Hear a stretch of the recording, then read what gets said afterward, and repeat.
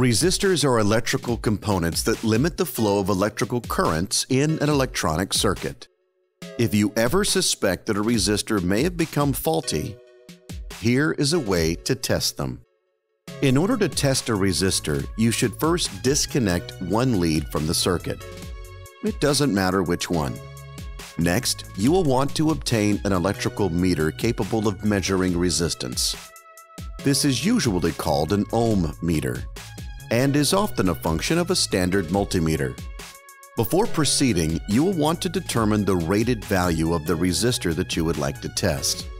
If your resistor is of the colored band variety, you will need to look up each colored band to determine its meaning.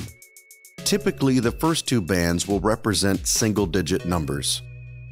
The third band represents a multiplier, and the fourth band will be an accuracy rating for the device. The ceramic and wire varieties of resistors will often be labeled in ink with a value.